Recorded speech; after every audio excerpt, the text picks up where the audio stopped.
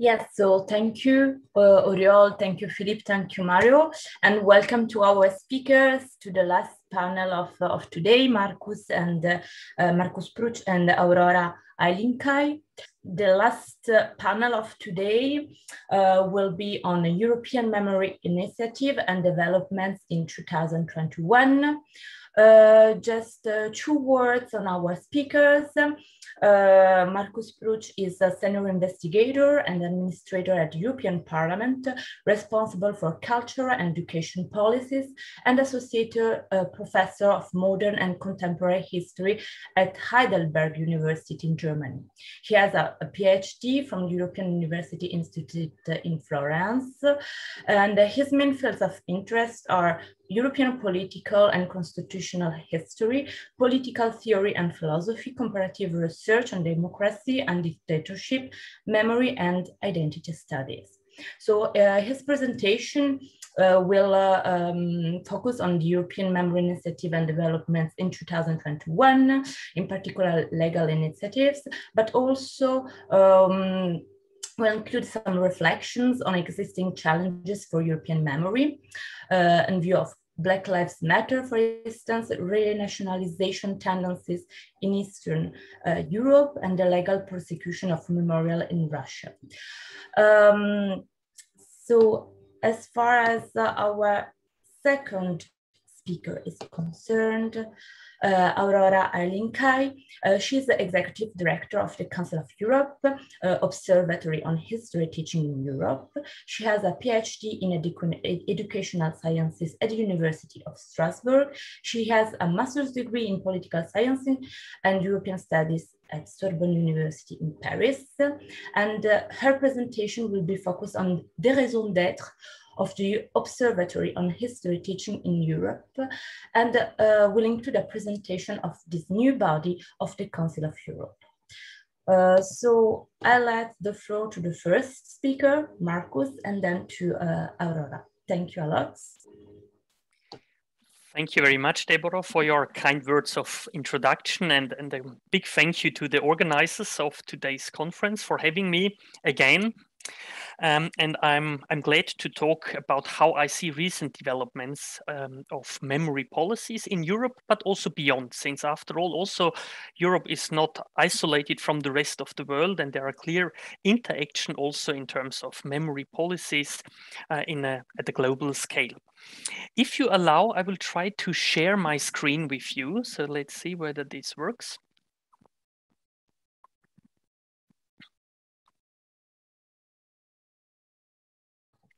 I hope you can see my PowerPoint. Yes, you can see. Oh, super. So what I had intended to do is to, to start with a few words of well, introduction reflection on recent developments, then really try to, to categorize perhaps those developments. So what are what I consider key trends of memory politics? And here I consciously use the term politics rather than policies in Europe, but also beyond. Um, before dealing briefly with the actions or rather reactions of the European Union and the European Parliament in particular, before um, finishing with um, a short outlook, a more personal one. But let me start with what I called an introduction and um, maybe with a question namely, do we see what might be called a repoliticization of history and a return of what we might call politics of the past, meaning that the past, that history and the memory thereof is consciously used for political purposes. And um, one could argue that there are certain developments that really, well, seem to corroborate this claim. If we are thinking about tendencies in Russia, for example, where, I mean, nostalgia about the Stalinist past has been ever present, but where more recently also the state authorities are consciously trying to revise history, including by means of attacking a Memorial International, one of the well best established organizations in the world dealing with totalitarian pasts. But uh, not to forget the Black Lives Matter movement, which has become a global movement. The question how intrinsic also structural and systemic racism is in Western societies. But one could argue that even in countries like Germany, which for long has been considered as, as a prime example how people should deal with history in a critical manner, you see tendencies of a revisionist nature more recently. For example, the idea that the Federal Republic had never existed and that there is a direct link between the former um, German Empire um, and which would have never ended. So you, you see clearly that even in, in Germany, there are tendencies that ask for a revision, at least of the way how history is dealt with. So do we really see such a return of politics of the past? Well, I would argue maybe it's more kind of it's becoming more active it's becoming more vocal but it has always been there. It's nothing that has ever be, has ever been away. And this is also simply due to the fact that historical memory is not the same as historical truth. That's that's something we should always keep in mind. So meaning it was always up for contestation. It's an issue of subjectivity and value judgments in the end. Um, and history and memory thereof has always also a functional role, which means there is this ever-present susceptibility, like the openness to politicization of history, meaning politicians will always be tempted to somehow use or even abuse history for particular purposes, even if they might be of a very noble kind. Having said that, I just might want to repeat also for myself and for all of us also why history has become so ever present, especially at national level. Well, simply because historical memory is always intrinsically correlated also with nation and state building. And it is characterized also by very specific and sometimes selective references to the past, um, which makes for a broader public impact of such memory, um, but also helps to essentialize and simplify history in a way that you really manage to, to approach a broader audience than just trained historians. But automatically, by doing that, there is this imminent tendency to always elevate national history and sometimes also to create myths about it. Having said that, let me turn now what I consider recent developments in terms of memory policies in Europe, but also beyond, as I said. And here I could identify a few trends, so to say. The first is that I see in, in recent years, and in particular also 2021, that uh, the issues of inequality and systemic racism have become pro problematized in a way maybe more intensively than, than before. And here um, I can mention again what, what I already did before, the Black Lives Matter movement. Um, but we can also see that those new dealing with inequality and racism has sometimes led to a, a very confrontational uh, status of history. And I quote here the example of the United States, where you see that the 69 project. I'm not sure how many of you are familiar with it. This was a New York Times project trying to argue that actually the founding moment of the United States of America is not so much 1776 as we all assume, but rather 1619, the moment when the first slaves were brought to the North American continent. But this um, drive for a more critical dealing with racism in the United States was almost immediately countered during the Trump administration still by the so-called 1776 Commission, a very official commission that the main task of which was actually to show no, that's not true. The true founding moment is still 1776, and there is nothing like systemic racism in the United States.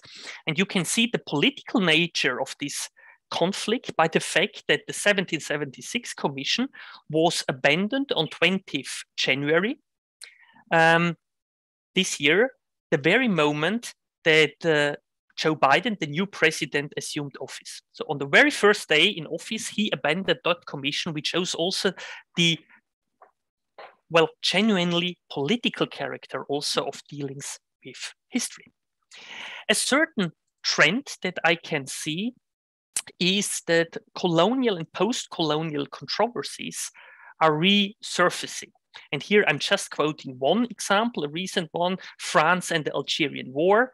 Um, the comments um, by President Macron, for example, um, acknowledging also that um, the dealings with the Harkis, um, the supporters of the French government during that war, that more attention needs to be paid to them, but also sending a message to Algerians saying that the colonial past cannot be an excuse for um, political failings in the present of those states, which created, of course, an outcry on the Algerian side saying that France has not yet overcome its colonial past and so forth. So we see also here um, maybe again strong controversies around the issue of colonialism. A third trend um, I, I, have witnessed uh, recently is the attempt to reform history education and in particular history curricular um, in, in a neo-national, neo-nationalistic way. So again, to try to interpret history in a very national and nationalistic manner and trying rather to to forget about European or global dimensions.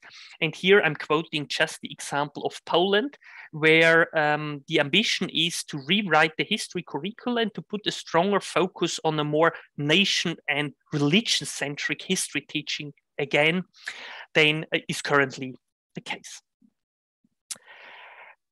Fourthly, what I see also, and this is maybe the most troubling um, development is the conscious suppression also of critical dealings with troubled pasts. And here, Russia is certainly a key example with the harassment of uh, Memorial International.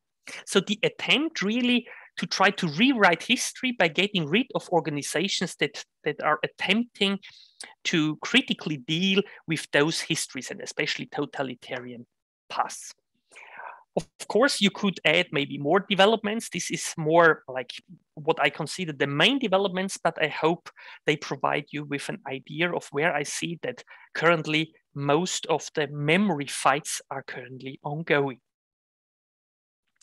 What are the actions or rather reactions of the European Union um, to those developments? Well, in that sense, again, it's maybe good to recapitulate what are the the imperatives, so to say, of European memory policies. I think we, we are all not, not so naive to believe that, of course, memory policies are just done for the sake of trying to get a better understanding of the past, but it's also about generating political legitimacy for the European Union and the European project, and there is absolutely nothing wrong with that. But I think it's worthwhile also just to keep that in mind. It's about fostering something like European identity in this context. And as you are also aware, there are traditional reference points. Uh, in that context, European cultural heritage, the Second World War, and the European integration process. Um, as such, as we just heard, celebrating also like crucial documents um, in that European integration process. And then we have the more specific reference points since the 1990s, which still play a predominant role um, also in the new program, as we heard this morning, namely the Holocaust and more generally 20th century totalitarianisms in the plural. The activities of the EU and the European Parliament in particular have traditionally been focused on the one hand on awareness raising political activities and initiatives. So supporting the Holocaust Remembrance Day becoming established throughout Europe, uh, establishing the European Day of Remembrance for Victims of Stalinism and Nazism, the 23rd of August, but also uh, different resolutions. The latest big one being in 2019 at the occasion of the 80th anniversary of the beginning of the Second World War, the EP resolution on the importance of European remembrance for the future of Europe. So here also clearly linking that dealing with the past is crucial, not just for the present, but also for the future of our continent and the European Union in particular. The um, a very important role plays the, the previous Europe for Citizens program that is now luckily continued in form of the CERV program. Um, but you can also see the, the, advocacy of the European Parliament and the European institutions in general for the European Year of Cultural Heritage as a sign how important history and the memory thereof is at European level. And of course, I should mention the establishment and the further development of the House of European History, including the Jean Monnet House, um, which is kindly hosting also today's event. But having said that, it's important to keep in mind that maybe what appears as a more or less coherent memory policy and strategy of the European Union and the European Parliament um, is not always like that, and that there are also failed initiatives in the past. And I mentioned one that in 2013 there was the attempt to go for a parliament resolution on historical memory in culture and education in the European Union. So, to say, to agree on how we should deal with history in the fields of culture and education. And this initiative already failed at committee stage simply due to the lack of any cross party agreement and missing majorities for any possible solution. So it shows that still history continues to be a very contested thing, even at the level of the European Union. What are now current EP initiatives and actions to give you an idea what is really currently ongoing? Um, research has been commissioned on European memory and adequate ways of dealing with troubled past at supranational level by the European Parliament. Why? To prepare a planned 2022 own initiative report on European historical consciousness. So the attempt one could argue to try again almost 10 years after that failed initiative, which I mentioned, um, whether something like a European uh, policy statement on historical consciousness can be established at the EP level. At the same time, there is a clear public repudiation of misrepresentations of European and national histories and the defense of independent historical research and the critical collective memory. I mentioned two examples here. There was a letter exchange between the chair of the CULT committee in this case and the Polish Minister of Education on the planned uh, uh, curricular reform in Poland, um, in which also the European Parliament asked for clarification. What does it mean? Um, like um, going back to a more nationalistic history, does it mean what role does Europe still play? And, and very recently, the public reputation in an open letter uh, to the Russian authorities, uh, criticizing the legal prosecution of Memorial International, which is currently undergoing and published soon.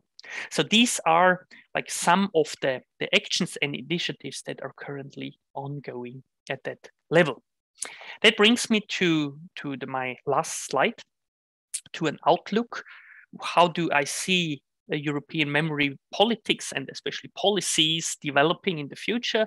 Well, there will be this ever-present gulf between history on the one hand and politics on the other, which is always hard to bridge in the sense of that while history is in the end about trying to find evidence, politics is in the end also about power. And um, there will always be this contestation also at European level. What I still see is a bit of a discrepancy between aspiration and reality in the sense of like what what policy documents but also the programs that are in place are actually asking and the reality we are facing every day in Europe where we see that history is very actively used and abused for very concrete political purposes especially by some member states that we are still facing the fact that we, there is not one single memory frame in Europe, but rather there are different competing memory frames where different elements play a different role for different nations in, in Europe. And that, of course, our remembrance is still characterized also by teleology, usually the idea that we are aiming for something better than the past was, um, and also to a degree to, of reductionism in the sense of we try to to reduce our historical memory to very specific moments, very specific interpretations and elements. And there is the ever present discrepancy between the European and the national level, which is still a bit unresolved and which is also corroborated by misreadings of what European historical memory should be, which some still seem to see, oh, it's like one memory everyone should share, while it's really more about trying to, to deal with the past in a common way, but also a misreading of European citizenship, which is not about creating citizens that think that in a, in a very similar or even the same way, but rather creating critical Europeans. Which is why, and this is my ceterum censeo, for which I have argued for many years, I still see the need to move from a remembrance culture that is focused on what to remember and how to remember, rather as a first step to a culture of remembering, to develop tools and fora that we can exchange critically about the past and that our own ideas get confronted with those of others. And I would say that today's um, meeting is a very good example for doing exactly that, that we meet, that we share experiences, share views, and those shared views, this multi-perspectivity, to use Constance's term from the beginning, allows us also to see things through a European lens. I think I will stop here. I thank you for your attention and uh, I'm glad to take any questions you may have. Thank you very much.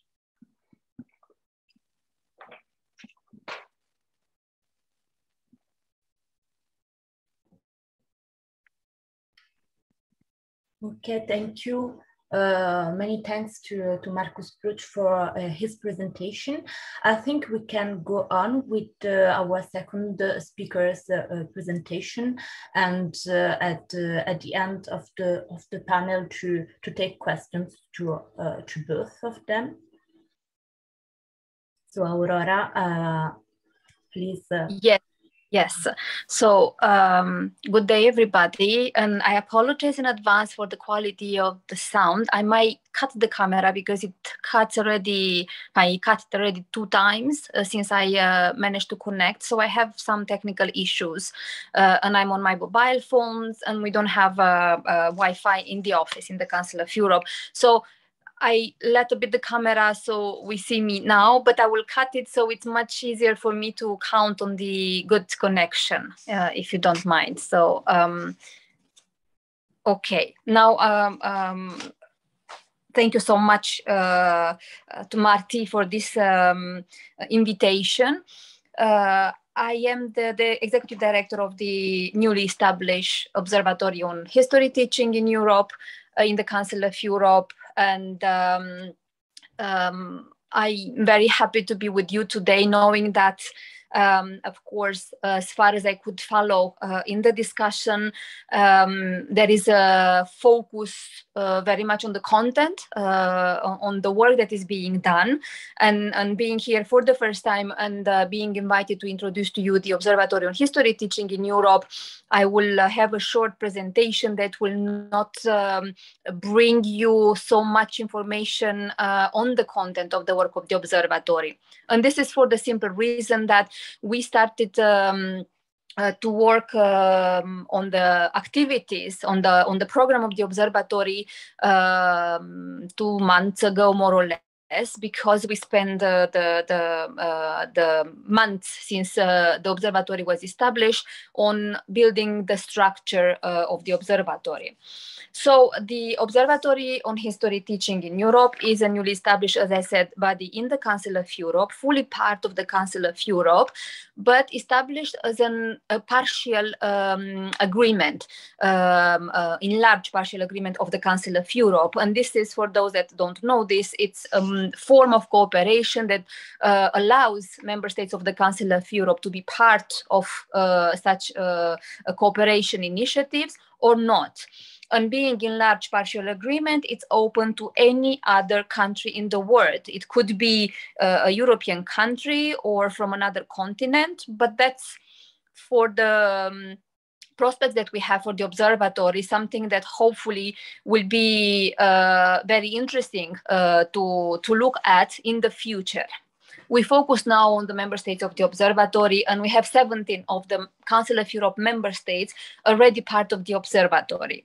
This initiative was launched during the French presidency of the Committee of Ministers uh, in the Council of Europe, and it was adopted during the Greek presidency and uh, established in November 2020. So I was appointed myself in April this year, and we started to function with the, um, the governing board, the Scientific Advisory Council, the selection of experts uh, uh, um, so the, the group of experts working also on, uh, on the uh, activities of the observatory very recently, as I said.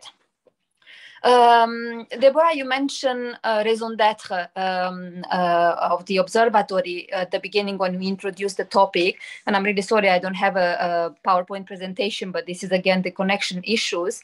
And um, this um, makes me um, just uh, go back to the previous presentation because um, listening to um, to the previous uh, speaker, um, I think that um, many things were mentioned uh, in in his presentation, and um, notably the the politician will always use and abuse history.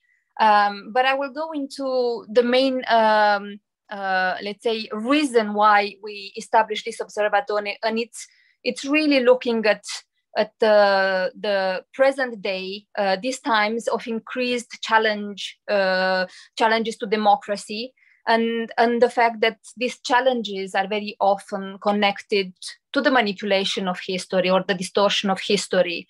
And, and we considered in the Council of Europe, a human rights organization, that such an observatory is vital in, uh, uh these um, uh, times. So um, the uh, main activity of the observatory will be to um, to uh, to have a, to make a picture of the situation of teaching uh, uh, history of the state of teaching history in the member states.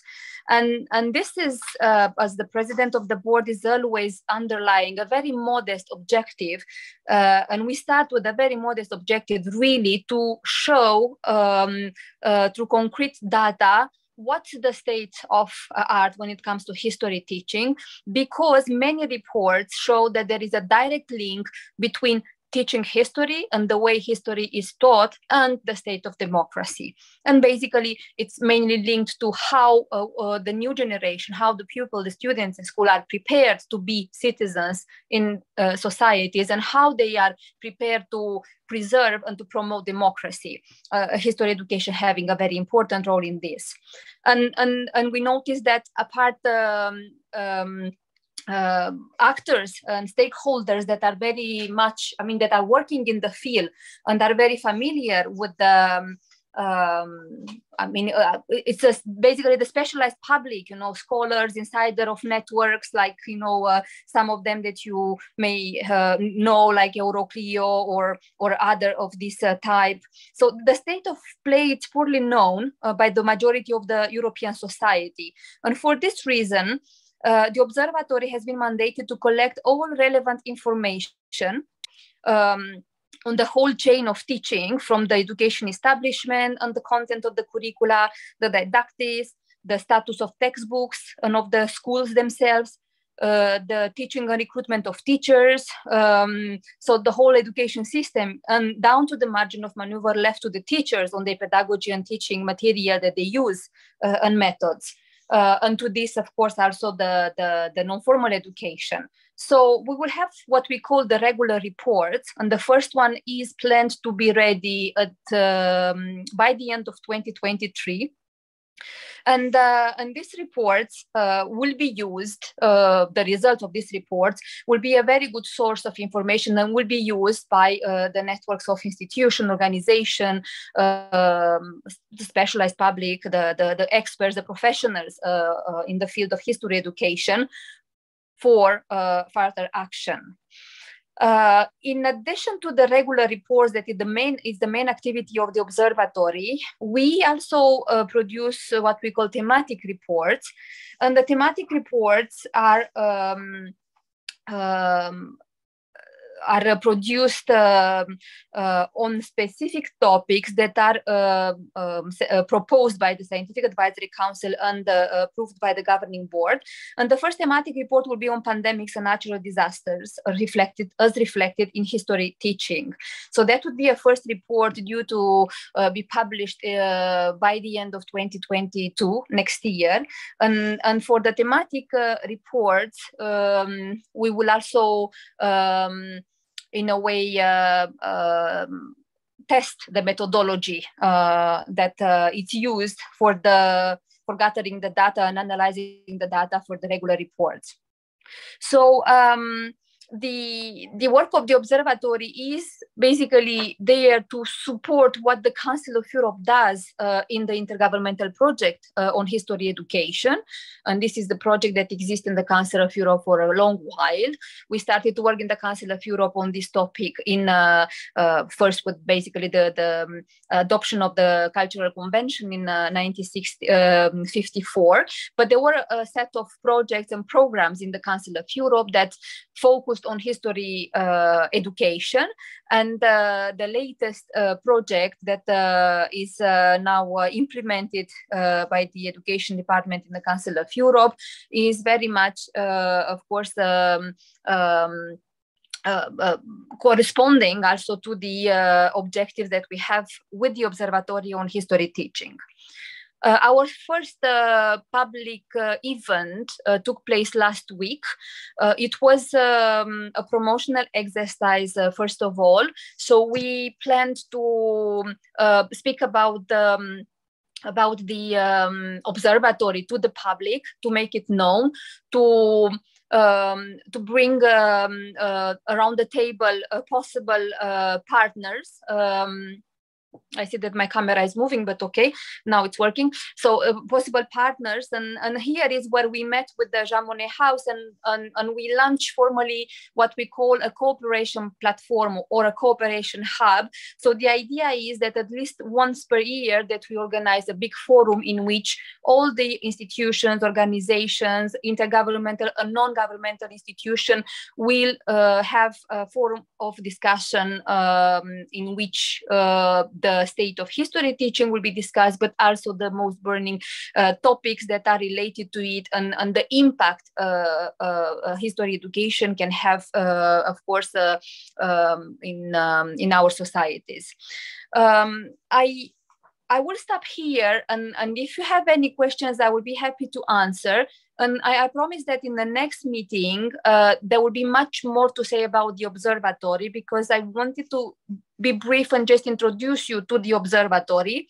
But next year, we will have more to say in terms of content of the work, uh, the results of the work of the observatory, and especially also the content of these reports that um, that we uh, just um, uh, launched uh, some weeks ago. Thank you very much. And thank you again, uh, uh, Marty, for the invitation and sorry for the connection problems. You're welcome. Many thanks for this very interesting uh, presentation. Um, so I open the floor uh, if uh, someone uh, of the attendees sorry, have a, a, question for one or, or, both the, the, speakers. You can simply speak um, or write in the in the chats.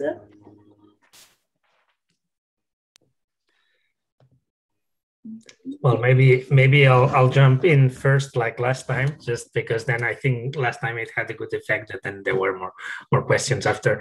Uh, well, thank you very much to to both uh, Markus and and uh, Aurora. It was it was just great as we expected. Uh, we're not, of course, mistaken in in in asking you both to to to present uh, extremely interesting topics uh, you gave like a really really broad overview and that's that's just what we needed this this kind of like also refreshing perspective as i as i said at the beginning after the dryness maybe but also important of course of the of the of the facts and figures and and, and specs that we saw uh, more clearly in the first uh, session. That that is precisely the, the goal of, of this meeting to to reunite re, reunite both dimensions in one uh, single event. Uh, just uh, one um, i have one specific um, concern in general in general not not just today but it's it's about the geographical scope of our actions in general you know. So uh, there was a question about that earlier on. I think it was with regards i think we all asked about the the scope of the the program of the CERV program of the commission asking if non eu member states were eligible. Well it goes in that direction my question. I think unfortunately that that uh, the geographical scope of the different um, initiatives is still very uneven. I mean, of course, because of the institutional, uh, you know, membership, and it could could not be otherwise but at the same time we are in need of of, of doing uh, of sending a message that is is valid for all the continent you know regardless of membership of institutional arrangements etc so uh, maybe i mean it can be also a question to markus but more specifically in, in more practical terms also to aurora uh, I would like to know how she sees the, the, the, precisely the potential for complementarities in this respect between the Council of Europe and the EU institutions. Uh, and I'm just going to just bring in like a, an element that we haven't discussed until now. Maybe I was saving it for the conclusions, but I'll say it now. Is that uh, I think it, it, we have one uh, piece of good news is that uh, in the last days, the European Parliament uh, Bureau approved uh, a new um, distinction for European democracy sites and luckily uh, in that direction it is not just for uh, eu member states but also for uh, states that belong to to the neighborhood policy the eu neighborhood policy. So i think it's it's it's one step in that direction maybe not enough maybe we need much more but i would like to know what you how you see this this question both in let's say conceptual and practical terms. Thank you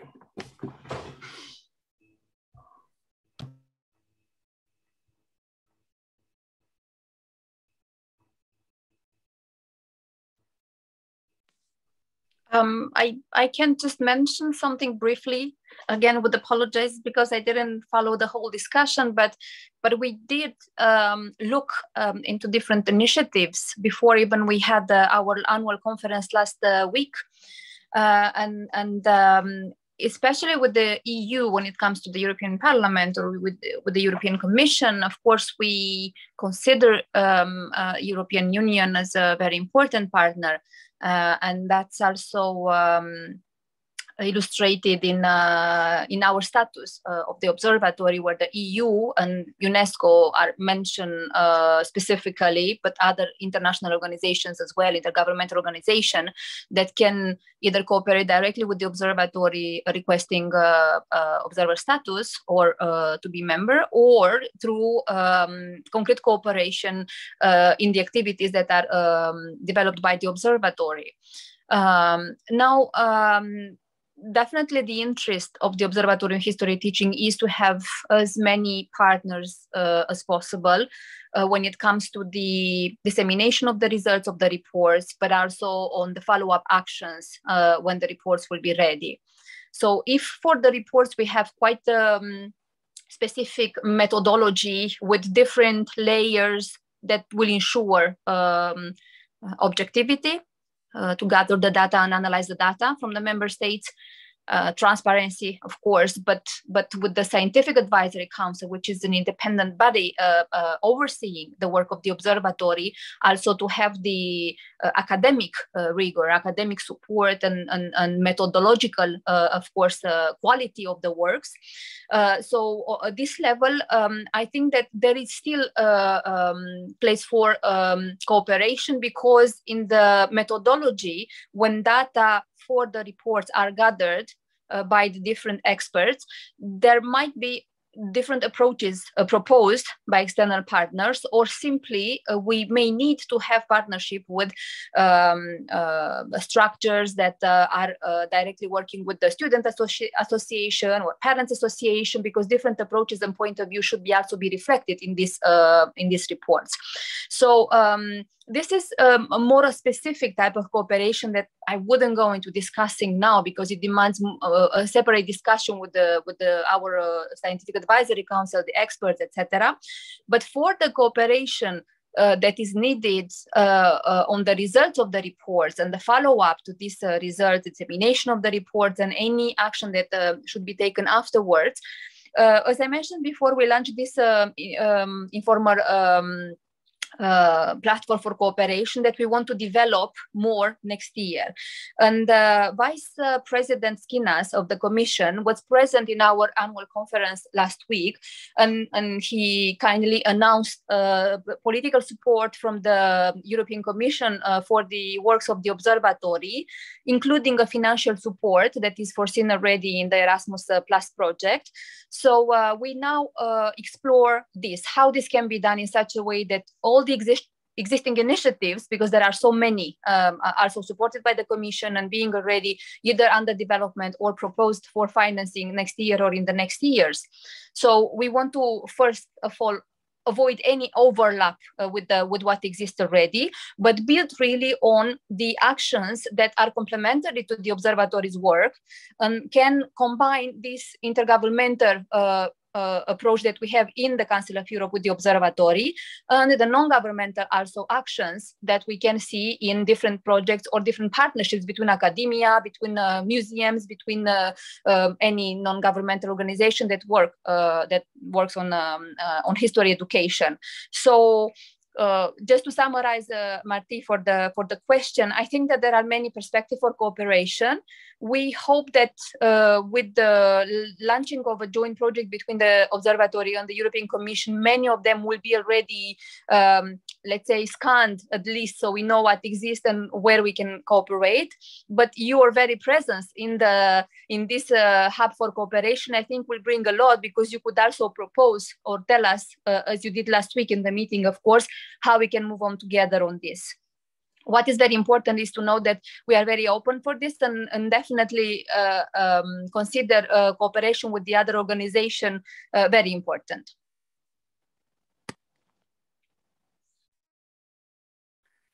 Debora, may I just come in also briefly because I think Marty raised a really important conceptual issue. I just wanted to follow up on what Aurora was referring to, that I think a better or a wider geographical scope of, of European historical memory initiatives, I think is absolutely important. I mean, especially since what does this geographical imbalance tell us? And the imbalance exists already within the European Union, that it might reflect also fundamentally different understandings of, of history and memory. And I think the Brexit was a very good example for that. And one of the reasons why I think you know the, Brexit happened was also a fundamentally different interpretation of the role of what Europe is, what European integration project is about. So I think it's important also in, in a in a very selfish interest of the Union to widen the scope, and I think the Council of Europe is an obvious target in that sense. That at least you go to those countries that are not yet or no longer both members of the European Union to be also included. But while doing that, we should also not forget that uh, replacing nationalism by Eurocentrism alone is also not the solution. In other words, we should also always keep also the global context in mind. I don't really see a risk for that, but obviously, you know, we also have to keep in mind Europe is also only part of the world, an important one, especially historically, but also simply one part of many, many others. Thank you. Many thanks. Uh, anybody else from the from the attendees, from the participants? Any question for our last uh, panel, or in general also or the other?